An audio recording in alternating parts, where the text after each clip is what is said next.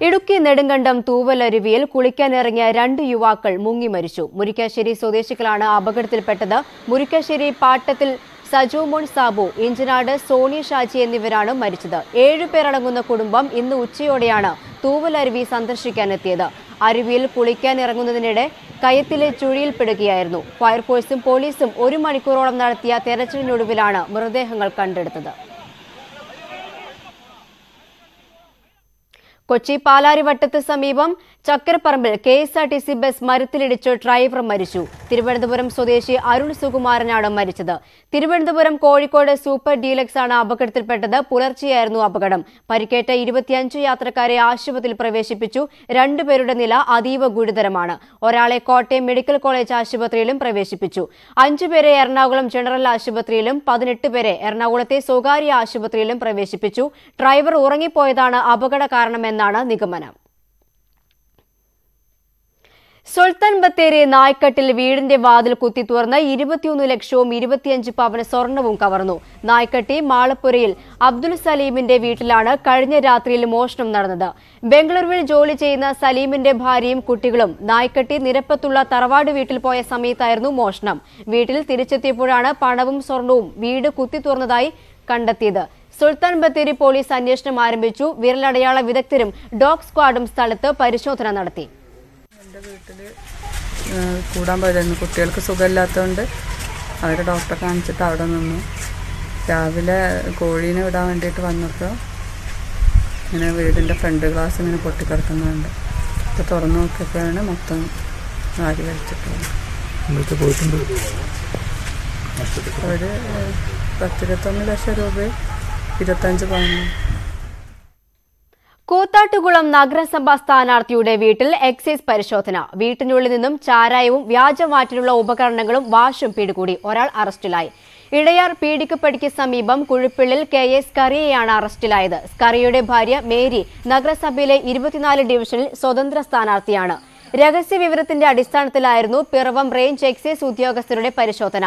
മൂന്നര ലിറ്റർ ചാരായവും ഒന്നര ലിറ്റർ വിദേശ മദ്യവും അൻപത് ലിറ്റർ വാഷും വാറ്റുപകരണങ്ങളും പിടിച്ചെടുത്തു. പുലിപ്പേടിയിൽ ഇടുക്കിയിലെ ചിന്നക്കനാൽ പെരിയ കനാൽ മേഖല. കഴിഞ്ഞ ദിവസം തോട്ടം തൊഴിലാളികൾ പുലിയെ നേരിൽ കണ്ടതിന് പിന്നാലെ വളർത്തുമൃഗങ്ങളെ കടിച്ചു കൊല്ലുന്നതും പതിവായി. എന്നാൽ വളർത്തുമൃഗങ്ങളെ കൊല്ലുന്നത് കാട്ടുനായയാണെന്നാണ് വനം വകുപ്പിന്റെ വാദം. മേഖലയിൽ കൂട് സ്ഥാപിക്കുന്നതിന് നടപടി സ്വീകരിക്കണമെന്ന ആവശ്യവും ശക്തമാണ്. ഒരാഴ്ച മുമ്പാണ് തോട്ടം തൊഴിലാളികൾ പുലിയെ നേരിൽ കണ്ടത്. പിന്നാലെ പുലിയുടെ സാന്നിധ്യം വനംവകുപ്പും സ്ഥിരീകരിച്ചു. മേഖലയിൽ വളർത്തുമൃഗങ്ങൾക്ക് നേരെ ആക്രമണം പതിവായി. കഴിഞ്ഞ ദിവസം പെരിയ കനാൽ എസ്റ്റേറ്റിലെ സെൽവത്തിന്റെ പശുവിനെ പുലി കടിച്ചു കൊന്നു എന്നാൽ പശുവിനെ ആക്രമിച്ചത് കാട്ടുപട്ടിയാണെന്നാണ് വനംവകുപ്പിന്റെ വാദം പുലിയെ നേരിൽ കാണുകയും വളർത്തുമൃഗങ്ങളെ ആക്രമിക്കുന്നത് നിത്യസംഭവമായ സാഹചര്യത്തിൽ മേഖലയിൽ കൂടുതൽ നിരീക്ഷണം ഏർപ്പെടുത്തണമെന്നാണ് തോട്ടം തൊഴിലാളികളുടെ ആവശ്യം காட்டுக்கு போன மாடு திரும்பி வரல நாங்கள் நைட்டு தேடி போகும்போது அங்கே சென்னாய் அடித்து கிடக்குன்னு ஆனால் ஃபாரஸ்ட் வந்து பார்த்து சென்னாயின்றாங்க ஆனால் புலி அடித்ததா தடம்பு தான் கிடக்குங்க இப்போ ஏற்கனவே வீடியோ நெட்டில் சொல்லியிருந்தாங்க பவர் ஹவுஸ் பக்கத்தில் ஒரு புலி வந்திருக்குன்னு அதுபாடு அந்த கண்ணுட்டி பா- அந்த மாடை அடிச்சிருக்கு പുലിയെ കണ്ടതോടെ പകൽ സമയങ്ങളിൽ പോലും പുറത്തിറങ്ങാൻ നാട്ടുകാർക്ക് ഭയമാണ് കാട്ടാനി അടക്കമുള്ള മറ്റ് വന്യമൃഗങ്ങളുടെ ആക്രമണവും പ്രദേശത്ത് രൂക്ഷമാണ് പ്രശ്നത്തിൽ അടിയന്തര ഇടപെടൽ വേണമെന്നാണ് നാട്ടുകാർ ആവശ്യപ്പെടുന്നത് ന്യൂസ് എയ്റ്റീൻ ചിന്നക്കനാൽ കാട്ടാനയുടെ വിളയാട്ടത്തിൽ പൊറുതിമുട്ടി ചിന്നക്കനാൽ പെരിയങ്കനാൽ മേഖല കഴിഞ്ഞ ഒരാഴ്ചയിലധികമായി പ്രദേശത്ത് തമ്പടിച്ചിരിക്കുന്നൊക്കെയാണ് കാട്ടാന. പെരിയ കനാലിലെ പെട്ടിക്കട അടിച്ചു തകർത്തു. സുബ്രഹ്മണ്യയുടെ കടയാണ് കാട്ടാന തകർത്തത്. നാല് ദിവസം മുൻപ് ഇതിന് സമീപത്തുള്ള ഏലത്തോട്ടത്തിലെ ഏലച്ചെടികളും ലക്ഷങ്ങൾ മുടക്കി നിർമ്മിച്ച കെട്ടിടവും കാട്ടാന തകർത്തിരുന്നു. കഴിഞ്ഞ ഒരു മാസമായി കാട്ടാന കുരങ്ങ് പുലി അടക്കമുള്ള വന്യമൃഗങ്ങളുടെ ശല്യം രൂക്ഷമാണെന്നും വനംവകുപ്പ് വേണ്ട രീതിയിലുള്ള ഇടപെടൽ നടത്തുന്നില്ല എന്നും നാട്ടുകാർ ആരോപിക്കുന്നു. വയനാട് പടിഞ്ഞാറത്തറ പഞ്ചായത്തിലെ ചെരിയും കൊല്ലിപ്പണി പണിയ കോളനി നിവാസികളുടെ ദുരിത ജീവിതം ഓരോ തെരഞ്ഞെടുപ്പ് കാലത്തും ചർച്ചയാണ്. കുടിവെള്ളവും വഴിയുമില്ലാതെ മുപ്പത് കുടുംബങ്ങളാണ് ഇവിടെ കഴിയുന്നത്. ഇത് ചേരിയം കൊല്ലിപ്പാലത്തിന് സമീപത്തെ പണിയ കോളനി. മുപ്പതിലധികം കുടുംബങ്ങൾ താമസിക്കുന്ന ഇവിടേക്ക് നടന്നു പോകാനുള്ള ഇടിഞ്ഞു തീർന്ന പുഴയോർത്തു കൂടിയുള്ള ഒറ്റയടി പാത മാത്രമാണ് ഉള്ളത്. പൂർത്തിയാകാത്ത കുടിവെള്ള പദ്ധതിയും തകർന്ന കിണറും മറ്റൊരു ദുരിതം. എല്ലാ പ്രളയകാലത്തും ഒഴിഞ്ഞു പോകേണ്ട ഷെഡുകളിലാണ് പല കുടുംബങ്ങളും ഇപ്പോഴും കഴിയുന്നത്. എന്റെ വീട് ഇവിടെ ഇവിടെ കാണുന്ന വീടാണ് അവിടെ തന്നെ ഇപ്പം പ്രളയം വന്നു കഴിഞ്ഞാൽ എന്റെ വീട് പോലും കാണാത്ത ഒരു അവസ്ഥയാണ് അപ്പോൾ ഈ ഈ വീടും ഇതാ ഇവിടെ കാണുന്ന വീടിന്റെ ഒക്കെ അവസ്ഥ എന്തായിരിക്കും? ഇപ്പോൾ ഒരു വെള്ളം വെള്ളം വന്നു കഴിഞ്ഞാൽ ഇവിടുത്തെ സാധനം മാറി തന്നെ. ഭയങ്കര ഒരു റിസ്ക്കാണ് ഇവിടുന്ന് പോകാനും കുടിക്കാൻ പോലും വെള്ളത്തിന് തന്നെ തെറി കെട്ടിട്ട് വേണം കൊണ്ടുവരാൻ ഓരോ ചേട്ടന്മാരുടെ വീട്ടിൽ. നിന്ന് ആ അവസ്ഥയിലാണ് ഇപ്പോൾ. പൈപ്പ് ഇട്ടിട്ടുണ്ട്. ഇനി മോട്ടറും കണക്ഷനും കൂടെ കിട്ടിയ വെള്ളം ടാങ്കും വെച്ചിട്ടുണ്ട്. എല്ലാ വീട്ടിലും പൈപ്പ് ഇട്ട് കൊടുത്തിട്ടുണ്ട്. കുറേ ആയി ഇങ്ങനെ. ഇപ്പോൾ രണ്ട് മൂന്നാൽ മാസം കഴിഞ്ഞു. തെരഞ്ഞെടുപ്പ് കാലത്ത് വോട്ട് തേടിയെത്തുന്ന സ്ഥാനാർത്ഥികളോടും രാഷ്ട്രീയ പാർട്ടികളോടും ചേരിയംകൊല്ലി പണിയ കോളനിക്കാർ ദുരിതം വിവരിച്ച് മടുത്തു. News eighteen Wayanad. ദുരിതമൊഴിയാതെ Ernakulam Njarakkal നിവാസികൾ. യാത്രാ സൗകര്യമില്ലാത്ത റോഡും മഴക്കാലത്ത് വീടുകളിൽ വെള്ളം കയറുന്നതും പതിവായതോടെ ദുരിതത്തിലാണ് പ്രദേശവാസികൾ. അധികൃതർക്ക് പരാതി നൽകിയിട്ടും നടപടിയില്ലെന്ന ആരോപണമുണ്ട്. സുനാമി ഫണ്ട് ഉപയോഗിച്ച് നിർമ്മിച്ച ഞാറയ്ക്കൽ ഫിഷ് ഫാം റോഡ് തകർന്നിട്ട് അഞ്ചു വർഷം കഴിഞ്ഞു. റോഡിന്റെ പ്രശ്നം പരിഹരിക്കണമെന്നാവശ്യപ്പെട്ട് പഞ്ചായത്തിലും പൊതുമരാമത്ത് വകുപ്പിലും പരാതി നൽകിയിട്ടും ഫലമില്ലെന്ന് പ്രദേശവാസികൾ പറയുന്നു. റോഡും കായലും വേർതിരിക്കുന്ന കൽഭിത്തി പൂർണമായും തകർന്നു. വേലിയേറ്റ സമയത്തും മഴക്കാലത്തും കായലിൽ നിന്നുൾപ്പെടെയുള്ള വെള്ളം വീടുകളിലേക്കെത്തും. അവസ്ഥയെന്ന് പറഞ്ഞാൽ ഇവിടെ ഇങ്ങനെ കിടക്കണ കാരണം വെള്ളം ഇഷ്ടം പോലെ കയറും മൊത്തം റോട്ടിൽ നിന്ന് ഇങ്ങാട് കയറി പെരക്കാത്തോട്ടാണ് കയറണത് പെരം താഴ്ന്ന് കിടക്കണല്ലേ എപ്പോഴും വെള്ളം ഒരു കൂലിയാണ് ഏത് സമയം വെള്ളമാണ്. ഞങ്ങൾക്ക് ഇവിടെ ഇതിന്റെ അകത്ത് കിടക്കാൻ ഞങ്ങൾ ഒരു സാധനങ്ങളും താഴ്ത്തിറക്കിയിട്ടില്ല. എല്ലാം പൊക്കത്ത് കയറ്റി വെച്ചേക്കാണ്. കട്ടിലുമ്മ പോലും കിടക്കാൻ പറ്റില്ല ഞങ്ങൾക്ക് എന്നിട്ട് രാത്രി സമയത്ത് ഞങ്ങൾ വെള്ളം കോരി കുറച്ചൊക്കെ പറ്റിച്ചിട്ടാണ് കട്ടിലുമ്മ കയറി കിടക്കുന്നത് എൺപത്തിയഞ്ച് കുടുംബങ്ങളാണ് നാനൂറ്റി അൻപത് മീറ്ററോളം നീളമുള്ള ഈ റോഡിനെ മാത്രം ആശ്രയിക്കുന്നത്. വെള്ളം കെട്ടിത്തുടങ്ങിയാൽ അത്യാവശ്യ സാഹചര്യങ്ങൾക്ക് പോലും പുറത്തിറങ്ങാൻ കഴിയാത്ത അവസ്ഥ. ഈ റോഡ് നന്നാക്കുന്നതിന് മുമ്പുള്ളതാണ് ഈ സൈഡ് പ്രൊട്ടക്ഷൻ. ഈ സൈഡ് പ്രൊട്ടക്ഷൻ ഇടിഞ്ഞു പോയിട്ട് ഇപ്പോൾ വരുന്ന വേലിയേറ്റങ്ങൾ മുഴുവനും ഈ റോഡിലൂടെ കരയിട്ട് ഞങ്ങളുടെ വീടുകളിൽ വന്ന് കയറുന്നൊരവസ്ഥയാണ്. ഇപ്പം ഞങ്ങൾക്ക് വീടുകളിലെ എല്ലാ വേലിയേറ്റങ്ങളിലും വെള്ളമാണ്. അധികൃതർ ഇനിയും പ്രശ്നം പരിഹരിച്ചില്ലെങ്കിൽ ശക്തമായ പ്രതിഷേധ പരിപാടികൾ സംഘടിപ്പിക്കാനാണ് പ്രദേശവാസികളുടെ തീരുമാനം. News eighteen Kochi. മൂരാട് പാലം പണിയുടെയും റോഡ് വികസനത്തിന്റെയും ഭാഗമായി റോഡരികിലെ കെട്ടിടങ്ങൾ പൊളിച്ചു തുടങ്ങി. പാലത്തിന്റെ തെക്കു ഭാഗത്തെ കെട്ടിടങ്ങളാണ് പൊളിക്കുന്നത്. ദേശീയപാതയിലെ ഗതാഗതക്കുരുക്കിന് പരിഹാരം കാണുകയാണ് ലക്ഷ്യം. ഇതിനായി വടകരയിലെ മൂരാട് പാലത്തിലെ നിർമ്മാണ പ്രവൃത്തികൾക്ക് തുടക്കമായി. പുഴയിൽ തൂണുകൾ സ്ഥാപിക്കുന്നതുമായി ബന്ധപ്പെട്ട പ്രവൃത്തികൾക്കൊപ്പം പാലവും റോഡും നിർമ്മിക്കേണ്ട ഭാഗത്തെ പഴയ കെട്ടിടങ്ങൾ പൊളിച്ചു തുടങ്ങി. പുതുക്കി പണിയുന്ന പാലോളിപ്പാലത്തിന്റെ വടക്ക് ഭാഗം മുതൽ നാല് കിലോമീറ്റർ ദൂരത്തിലാണ് ആറുവരിപ്പാത പണിയുന്നത്. പാലത്തിന്റെ വടക്കുള്ള കെട്ടിടങ്ങൾ പലതും നേരത്തെ തന്നെ ഒഴിവാക്കിയിരുന്നു. ഈ മൂരാട് പാലത്തിന്റെ കാലാകാലമായിട്ടുള്ള ഈ ബ്ലോക്കുകൾ ഏതാനും രണ്ട് വർഷത്തിനുള്ളിൽ എന്തായാലും പരിഹരിക്കപ്പെടുന്നതാണ്. പാലം അടക്കം രണ്ട് കിലോമീറ്റർ വടകരയിലേക്ക് മൂരാട് പാലത്തിന് വടകര ഭാഗത്തേക്ക് രണ്ട് കിലോമീറ്റർ പരിധിയിലാണ് റോഡും പാലവും രണ്ട് വർഷത്തിനുള്ളിൽ പൂർത്തിയാകുമെന്ന് പറയുന്നത്. അപ്പോൾ അതിന്റെ അടിസ്ഥാനത്തിൽ ഈ രണ്ട് സൈഡുകളിലുള്ള കെട്ടിടങ്ങളും വീടുകളും എല്ലാം പൊളിച്ച് ഉടൻ തന്നെ മാറ്റുന്നതായിരിക്കും. ഇരുപത്തിയാറ് വീടുകളാണ് ആദ്യഘട്ടമായി ഏറ്റെടുത്തത്. ഇതിൽ ആറ് വീടുകൾ ഒഴിഞ്ഞിട്ടില്ല. റോഡരികിലെ ആയിരത്തി അഞ്ഞൂറ്റി ഇരുപത്തിയാറ് മരങ്ങൾ ഇതിനകം മുറിച്ചു മാറ്റി. ഇരുഭാഗത്തെയും കെട്ടിടങ്ങൾ ഒരാഴ്ചയ്ക്കുള്ളിൽ പൊളിക്കും. ഇതിനുശേഷം പാലത്തിന്റെ പണി തുടങ്ങാനാണ് തീരുമാനം. പഴയ പാലം ചരിത്ര സ്മാരകമായി സൂക്ഷിക്കണമെന്ന ആവശ്യം ഉയർന്ന സാഹചര്യത്തിൽ ഇതും പരിഗണനയിലാണ്. News eighteen Vadakara. കരിപ്പൂർ വിമാനത്താവളത്തിൽ അനധികൃതമായി കടത്താൻ ശ്രമിച്ച കോടികളുടെ സ്വർണം പിടികൂടി. രണ്ടേകാൽ കിലോ സ്വർണമാണ് എയർ കസ്റ്റംസ് ഇന്റലിജൻസ് വിഭാഗം പിടികൂടിയത്. ഇതിന് വിപണിയിൽ ഒരു കോടി പതിനഞ്ച് ലക്ഷം രൂപ വില വരും. ദുബായിൽ നിന്നും കോഴിക്കോട്ടേക്ക് എത്തിയ സ്പൈസ് ജെറ്റ് വിമാനത്തിലെ യാത്രക്കാരനായ മലപ്പുറം സ്വദേശി സലാമാണ് പിടിയിലായത്. ഇയാൾ ആയിരത്തി അഞ്ഞൂറ്റി അറുപത്തിയെട്ട് ദശാംശം രണ്ട് ഗ്രാം സ്വർണം മിശ്രിത രൂപത്തിൽ ഹാൻഡ് ബാഗേജിൽ ഒളിപ്പിച്ച് കടത്താനാണ് ശ്രമിച്ചത്. ഇതേ വിമാനത്തിന്റെ ശുചിമുറിയിൽ നിന്നാണ് ആയിരത്തി ഇരുന്നൂറ്റി അറുപത്തിരണ്ട് ദശാംശം രണ്ട് ഗ്രാം സ്വർണ മിശ്രിതം പിടികൂടിയത്. ശുചിമുറിയിൽ ഒളിപ്പിച്ച നിലയിലായിരുന്നു സ്വർണം.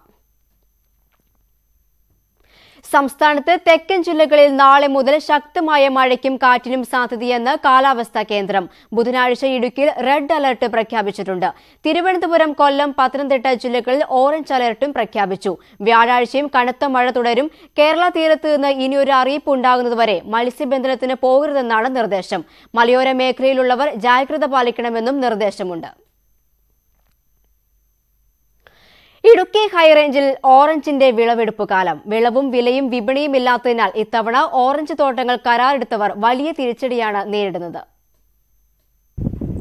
ജൈവ രീതിയിൽ ഏറ്റവും കൂടുതൽ മധുരമുള്ള ഓറഞ്ച് ഉൽപ്പാദിപ്പിക്കുന്ന മേഖലയാണ് ആനയിറങ്കാൽ പെരിയകനാൽ പ്രദേശം.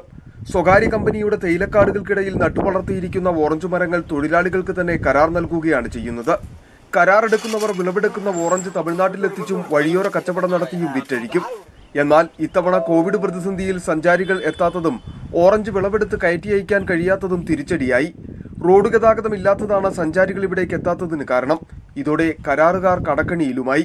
ഇപ്പോൾ ഉള്ള ഇവിടത്തുള്ള ആറഞ്ച് സെയിൽ ചെയ്യാനുള്ള ഒരു ബുദ്ധിമുട്ടുണ്ട്. കോൺട്രാക്ട് എടുത്ത ആൾക്കാരൊക്കെ ഭയങ്കര നഷ്ടമാണ് അതുകൊണ്ട് റോഡും ബ്ലോക്കാണ് ഗസ്റ്റും യാറും ഇവിടെ കയറി വരുന്നില്ല. മുൻ വർഷങ്ങളിൽ ഓറഞ്ചിന് നല്ല വില ലഭിച്ചിരുന്നതാണ്. എന്നാൽ ഇത്തവണ കിട്ടുന്ന വിലയ്ക്ക് വിറ്റഴിക്കുകയാണ് ചെയ്യുന്നത്. മുതൽ മുടക്കിന്റെ പകുതി പോലും തിരിച്ചു കിട്ടാത്ത അവസ്ഥയാണെന്ന് ഇവർ പറയുന്നു.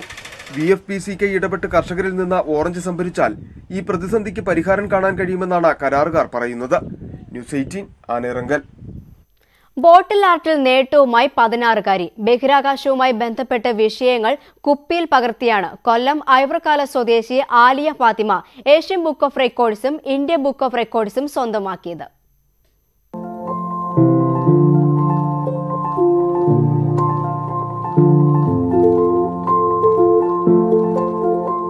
പന്ത്രണ്ടാം ക്ലാസ്സുകാരി ആലിയ ഫാത്തിമ ചെറുപ്രായത്തിൽ തുടങ്ങിയതാണ് കുപ്പികളിലെ ചിത്രപ്പണി. സ്കൂളിൽ നിന്നും തിരികെ വരും വഴി ശേഖരിക്കുന്ന കുപ്പികളിലാണ് ചിത്രരചന.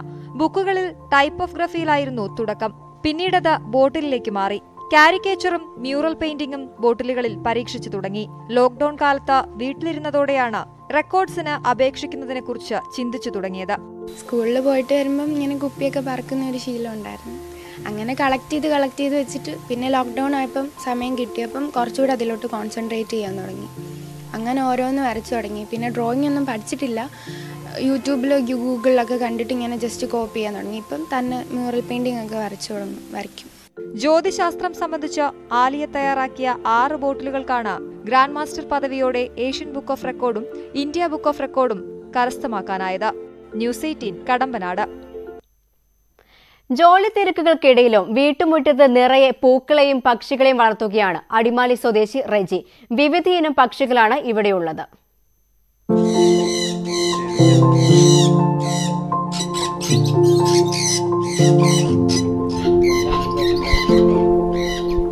അടിമാലി കൊറ്റാഞ്ചേരിൽ രജിക്ക് പക്ഷി വളർത്തൽ ഹരമാണ്. ജോലി തിരക്കുകൾക്കിടയിൽ മനസ്സിന് ഊർജവും സന്തോഷവും കണ്ടെത്താനാണ് പക്ഷി വളർത്തലും പൂക്കളുടെ പരിപാലനവും റിജി തുടങ്ങിയത്. കണ്ണൂർ തത്തകളും ആഫ്രിക്കൻ ലൗബേഴ്സും പെസന്റും ഓടിക്കളിക്കുന്നുണ്ട് ഇവിടെ. പക്ഷിക്കൂട്ടത്തിന് പുറമെ വിവിധയിനം പഴങ്ങളും പൂക്കളും ഇവിടുണ്ട്. കണ്ണൂർ തത്തകൾ ചില്ലറക്കാരല്ല. ജോഡിക്ക് നാൽപ്പത്തി അയ്യായിരമാണ് വില. പെസന്റിന് ഇരുപത്തി അയ്യായിരവും വിലയുണ്ട്. ആഫ്രിക്കൻ ലൗബേഡ്സിനെ പരിപാലിക്കുന്ന നിരവധി പേരുണ്ടെങ്കിലും കണ്ണൂർ തത്തകൾ ഹൈറേഞ്ചിൽ അപൂർവമാണ്. തിനയും പഴങ്ങളുമാണ് ഭക്ഷണം. നന്നായി ഇണങ്ങുന്നവയാണ് റെജിയുടെ പക്ഷികൾ. വർണ തൂവലുകൾ ഇളക്കി കൂടുകൾക്കുള്ളിൽ പക്ഷികൾ സ്വൈര്യവിഹാരം നടത്തും. വീടിന് സമീപത്തെ കുട്ടികൾ പതിവായി പക്ഷികളെ കാണാനെത്താറുണ്ട്. ഇത്തരം പക്ഷികളെ വളർത്തണമെങ്കിൽ രജിസ്ട്രേഷനും വനംവകുപ്പിന്റെ പരിശോധനകളും ആവശ്യമാണ്. രാജ്യത്തെ മികച്ച പക്ഷി സംരക്ഷണ കേന്ദ്രങ്ങളുമായും പക്ഷി വളർത്തലിൽ ഏർപ്പെട്ടിരിക്കുന്നവരുമായി ബന്ധപ്പെട്ട പരിപാലന കാര്യങ്ങൾ ഓൺലൈനായും റിജി മനസ്സിലാക്കിയിട്ടുണ്ട്. പഠിച്ചുകൊണ്ടിരുന്ന കാലം മുതൽ തന്നെ ഇതിനോട് നല്ല താല്പര്യമുള്ള ആളാണ്. പിന്നെ പഠിത്തമൊക്കെ കഴിഞ്ഞ് ജോലി കാര്യങ്ങളൊക്കെ ആയിക്കഴിഞ്ഞപ്പോൾ നമ്മൾ കുറച്ചും കൂടി വിപുലമായിട്ട് നല്ല വില കൂടിയ കിളികളെ വാങ്ങി വളർത്താൻ തുടങ്ങി. അതൊരു അതിലൊരു വരുമാനത്തിലുപരി ഒരു ഒരു മനസ്സിനൊരു സന്തോഷം കിട്ടുന്ന ഒരു രീതിയിൽ അതിനെ വളർത്തുന്നു. മത്സ്യകൃഷി വിവിധയിനം പഴവർഗങ്ങളുടെ കൃഷി എന്നിവയ്ക്കും റിജിയും കുടുംബാംഗങ്ങളും സമയം കണ്ടെത്തുന്നുണ്ട്. News eighteen Adimali. ഈ മഹാമാരിക്കാലത്തെയും അതിജീവിക്കാനാകുമെന്ന പ്രത്യാശ പകർന്നാണ് തൃക്കാർത്തിക ദിനം കടന്നുപോയത്. നാടെങ്ങും ദീപശോഭി തിളങ്ങി നിന്നു. ആരോഗ്യ പ്രവർത്തകർക്ക് ഐക്യദാർഢ്യം അർപ്പിച്ചും ഗ്രാമ നഗര വ്യത്യാസമില്ലാതെ ദീപങ്ങൾ തെളിഞ്ഞു.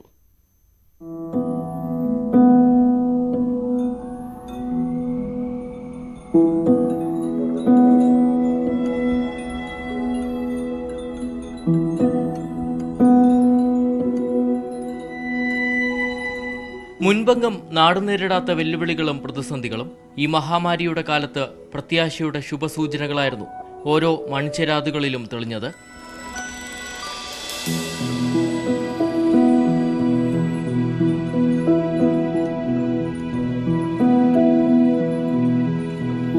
ஆஹ் தீபம் ஏற்றுறதுல எங்களுக்கு ஒரு சந்தோஷம் ஆஹ் ஏற்றி நாங்கள் சுவாமி கிட்ட இப்படி பிரார்த்தனை பண்ணுவோம் ஆஹ் இப்படி இந்த மாதிரி சுச்சுவேஷன் எல்லாம் மாறணும் அப்படிங்கிற மாதிரி நல்லா பிரார்த்தனை பண்ணுவோம் ആഘോഷത്തോടെയാണ് തൃക്കാർത്തികയെ ഏവരും വരവേറ്റത്.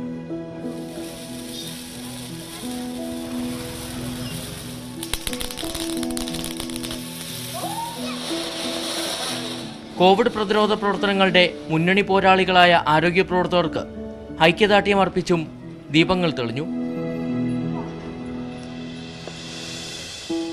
ഞങ്ങൾ ചെയ്യുന്ന കോവിഡ് വർക്ക് എന്ന് പറയുന്നത് ഒരു ചെറിയ അഞ്ച് ശതമാനമോ പത്ത് ശതമാനത്തിന്റെ താഴെയേ ഉള്ളൂ. പക്ഷേ ഡോക്ടർമാരായാലും നേഴ്സുമാരായാലും ഡോക്ടർ ഹോസ്പിറ്റൽ സ്റ്റാഫായാലും പോലീസുകാരായാലും മറ്റുള്ള ഉദ്യോഗസ്ഥരും എല്ലാം ഈ ചെയ്യുന്ന അവർ ചെയ്യുന്ന ആ പ്രവൃത്തിക്ക് ഐക്യദാർഢ്യം പ്രഖ്യാപിക്കണമെന്ന് ഞങ്ങൾക്കൊരാഗ്രഹമുണ്ടായിരുന്നു.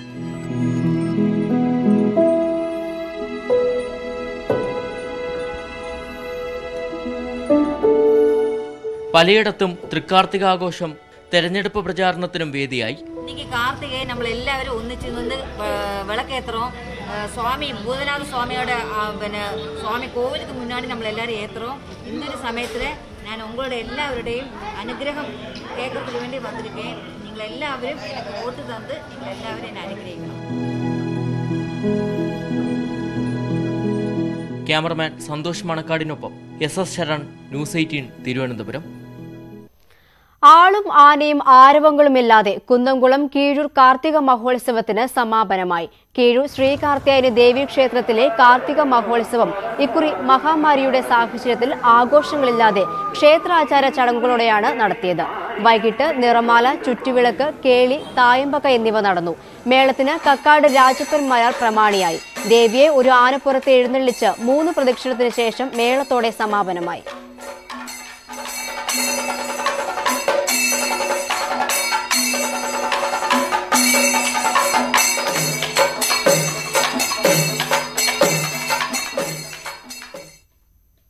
ഇടവേളയാണ് കൂടുതൽ വാർത്തകൾക്കും വിശദാംശങ്ങൾക്കും Malayalam dot news eighteen dot com.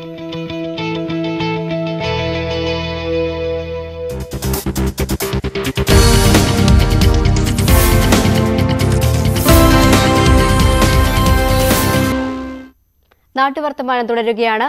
നാട്ടിലെങ്ങും വോട്ടംഗം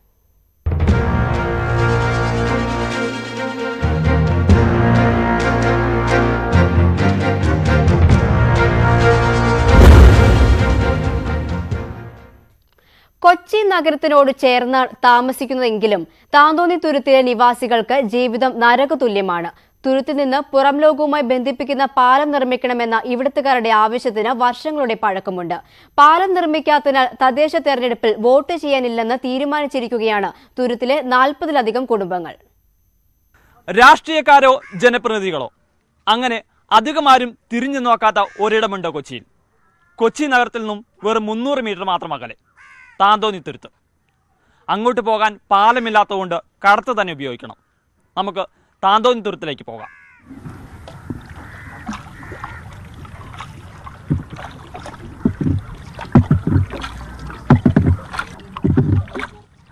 ഇത് ഉമാവതി.